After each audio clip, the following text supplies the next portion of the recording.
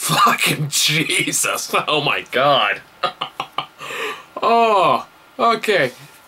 I wasn't originally going to record this video tonight. I was going to go to bed and we're going to record it tomorrow, but fucking Jesus. I could I had to talk about this one. Okay. So much better. So much better. Love this episode. Uh if only for those last like 3 fucking minutes. Oh my god. Uh Okay, so yeah, let, where to start? Because this is uh, really the only. There's actually a lot of good stuff in this in this episode, but the main thing is the fucking kingpin. Like, yes, this is what I wanted. Like, this is. I can tell right now this is gonna be easily the most interesting villains Marvel's ever done in their movies or TV shows. And this character is gonna be fantastic, and it's like, oh my god, so good. Uh, Okay, I gotta like tone it back a little bit. Okay, so this episode's. By the way, I'm just astonished at just how much violence this show is getting away with, or like that they're even willing to try. I mean, this is some fucking brutal shit. Uh, like the episode starts out with the like the origin story of the uh, Russian brother gang leaders. Um where uh, it like they're in a prison together and they're getting tortured on a regular basis, and there's like one dead. Uh, there's one dead cellmate with them, and they break out by making a shift out of the dead guy's rib cage, and like they, they show him like ripping out ribs too. It's like, fuck me, oh god. And then it just kind of just escalates from there. I mean, Daredevil like towards the end just goes straight on Batman. Uh, I was actually kind of interesting. Like in the last episode, he was kind of channeling like Christian Bale's Batman. He was doing the voice, and like, "Where are the other drugs going?" and doing all that. And it was kind of like a really Daredevil, really. Uh, and this one, he kind of channels more Michael Keaton Batman, and I think that works better. So I'm hoping he sticks with that. Uh, I don't know. We'll find like a good blend between the two. We'll find out. But anyway, uh, a few minor cliff notes before I talk about the big interesting thing, which of course Wilson Fisk finally revealed, full into character. There's so much talk about that because they take a very interesting approach to them. One I wasn't immediately expecting, but one I'm really glad they decided to go with. Um, this one largely focuses on the relationship between uh, Matt Murdock and uh, Night Nurse, who uh, her character name is called Carol, something like that. Yeah, Claire.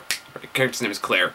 And I really like their dynamic together. I like that uh, Night Nurse is like almost very much basically Matt's conscience in this series. Like they're talking about like what he's doing and people he's hurt and how she's since he's a nurse, she's worked with a lot of people she's hurt uh, he's hurt and he's kind of reminding him like uh, while he's being the bad guys, his actions still have consequences and maybe that's something he should think about.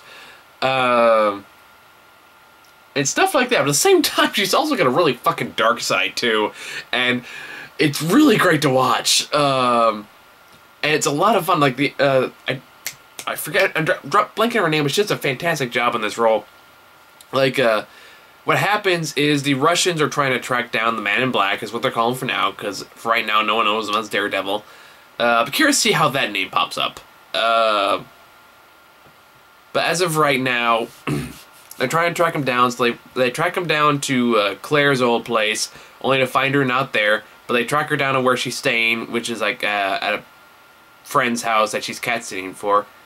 And uh, they kidnap her. Matt Murdock finds out. He goes hunt them down and just goes straight on Batman on them by, by turning out all the lights, using a bunch of distractions like Home Aloneing a lot of the garage equipment just to fucking like rope people in and beat the shit out of them.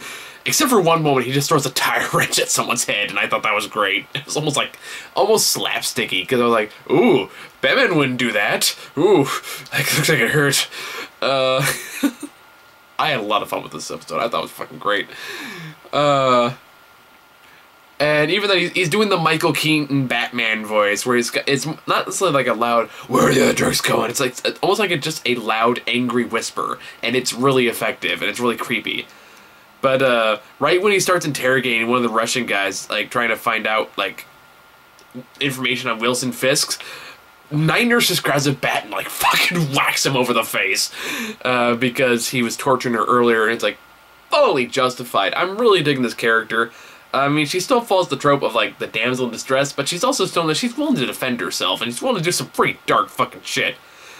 Uh, like in the like in the first episode she was in, where the like, oh, you shouldn't do torture people. To oh, torture him here. To uh, it's like I don't know where he is. To but he's gonna find you, which is like actually a line she says in this in this episode. It's fucking great.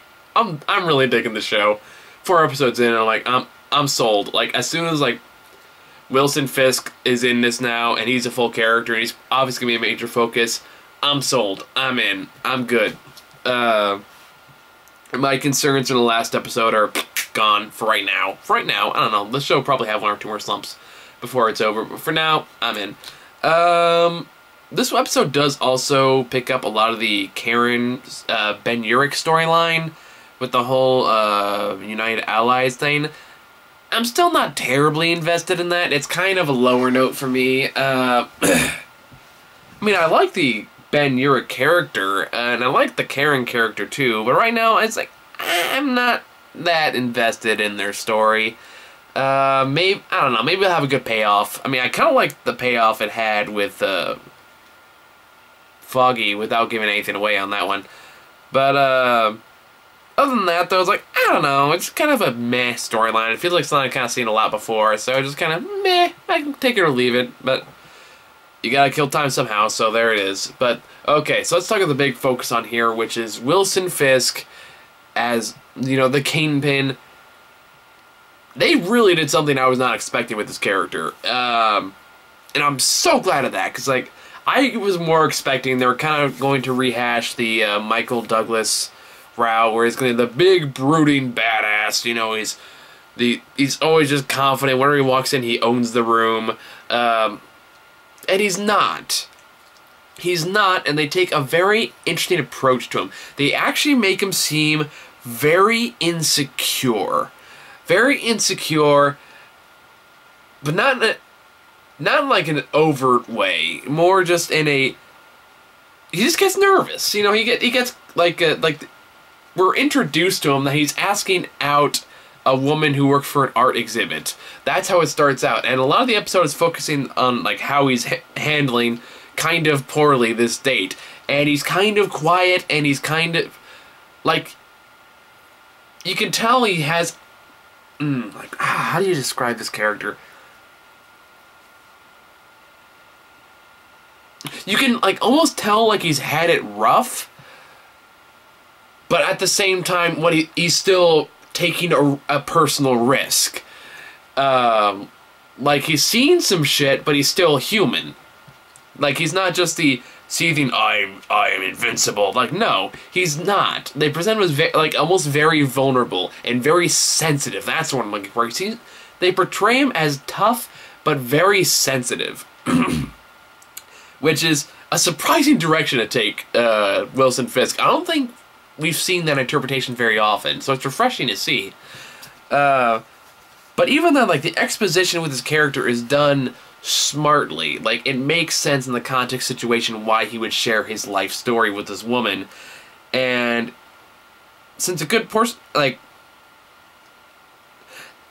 you see it as this sensitive person, so you kind of you almost find yourself kind of rooting for his side a little bit, but it's also the kingpin, so you know there's just a storm brewing underneath, and you know he has a reputation for a reason, and that comes into play in the last act of the episode where massive spoiler by the way if you don't want to spoil just stop right now but uh, one of the russian brothers uh, decides to interrupt wilson's uh, dinner to like talk to him and oh my god, what comes like it ruins the date for him. He like the girl says she doesn't really want to see him again, and he's hugely disappointed. If like he he made a personal risk and it completely backfired on him. And oh my god, the rage that just comes out of this character is fucking terrifying.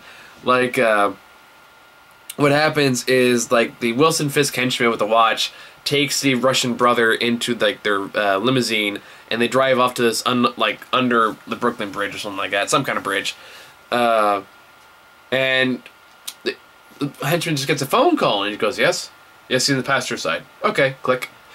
Mr. Fisk wants to talk to you now, and the door flies open. It's this face full of just pure fucking rage, just grabs him and throws him down and just beats the living fucking shit out of him to the point where it's like, how are, how are they getting away with this? Like this, this is like, oh my god, this is horribly, like this is the most violent anything Marvel has published at this point has gotten.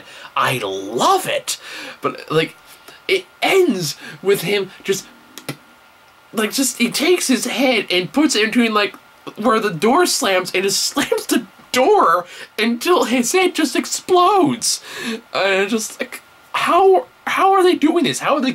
Oh my god. Whew.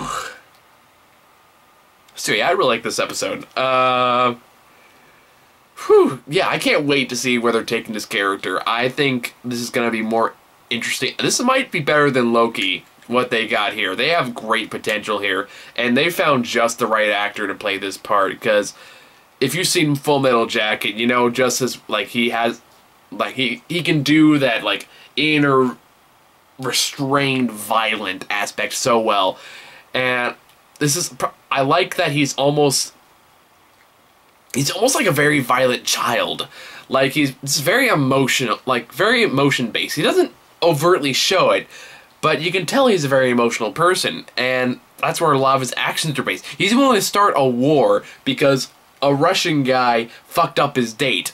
I mean, this guy is does you do not fuck with this guy even on a minor level. I mean, there's a big business part of him, but at the same time, do not fuck with him. Period, because he will destroy you and make your head pop like a zit. Whew.